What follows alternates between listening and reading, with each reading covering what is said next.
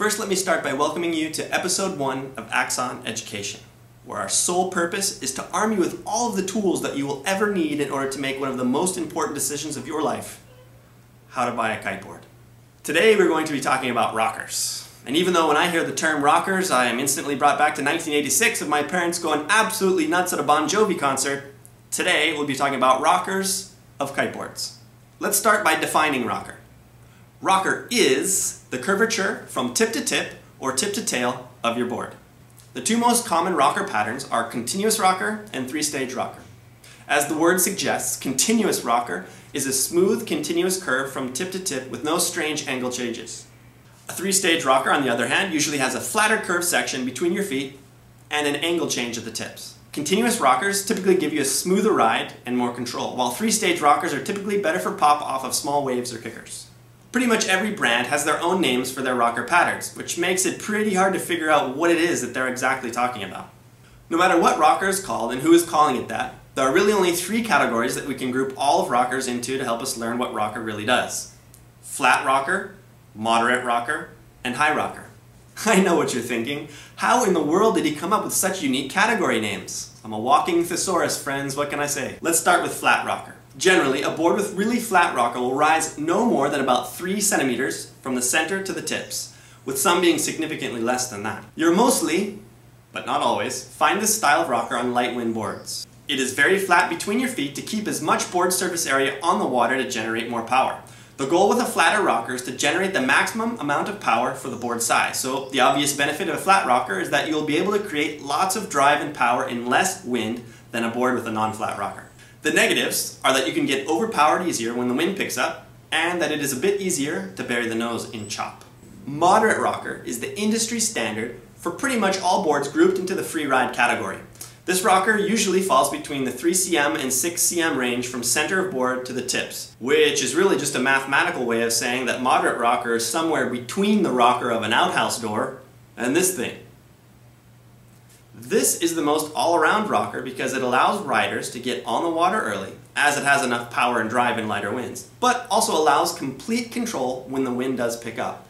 The only negative of a moderate rocker is perhaps the giant range of kiteboards that utilize it. Just because a board has a moderate rocker does not mean that it will do as advertised. So remember that rockers are only a piece of the puzzle when learning about kiteboard design. The last category of rocker is the high rocker, and is usually, but not always, associated with more progressive freestyle or wake style shapes. Typically has more than 6 cm rise from the center of the board to the tips. Riders wanting boards built more specifically for high power moves are usually drawn towards the benefits of high rocker boards. The goal of the high rocker board is to provide ultimate maneuverability and comfort in high wind and for landing with tons of speed, which means that a high rocker board could also be good for a beginner or intermediate who is in a location with frequent high winds. On the downside, a high rocker board typically underperforms in light winds as it cannot generate as much power as a moderate or flat rocker board due to less surface area being in contact with the water.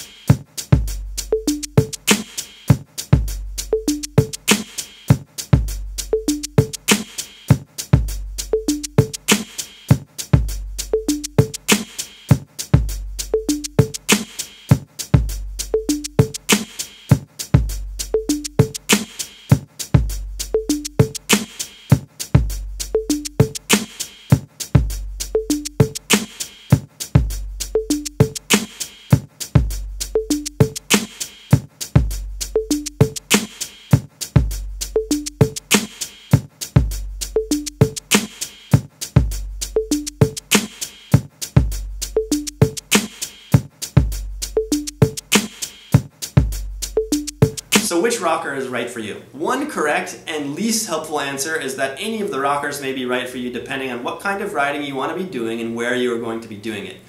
But that's sort of like asking your girlfriend what she wants to do later and she says, well, whatever you want to do, honey. Ah. so let's try to actually answer the question. Beginners can excel with any of the rocker patterns mentioned. But only because of varying conditions for learning. If you're learning in a high wind location where it's always blasting 25 knots, a higher rocker board is your ticket because it would allow you to maintain control with a lot of power and speed. On the contrary, if you're learning in a light wind location, a moderate or even flat rocker board could be perfect as it allows you to generate power much easier than a high rocker board. Intermediates typically gravitate towards moderate rockers, as it is the least exclusive of all of the rocker patterns. If you want a little bit of everything, a moderate rocker board is the right choice for you. All-terrain riding, boosting, cruising, etc., etc., you get the point. As an intermediate rider, a moderate rocker is the most all-around that you can get. Advanced riders, all over the map. High rockers would be the first thing that comes to mind for an advanced rider, but truthfully, advanced riders need to be in tune with where they are riding and make decisions based on that. You may think that you need the latest high rocker wake style board on the market, but if you live in a spot that is lucky to get 13 knots of wind, that might not be the best choice. Advanced riders usually have the experience to utilize the performance upgrades that some of the higher end boards have. For the most part, brands nowadays have a high-end, higher rocker board and a high-end, moderate rocker board to make sure that all types of riders have the same quality available to them. Hopefully in this episode, you've learned a little bit about kiteboard rockers and are now not dumber for having watched this. If you have any questions or comments, you can utilize any of these fine social media outlets or just send us an email. Please check our website for news, updates, and for new episodes, which I promise will be coming out whenever I feel like it. Until then, thanks for watching episode one and see you on the water.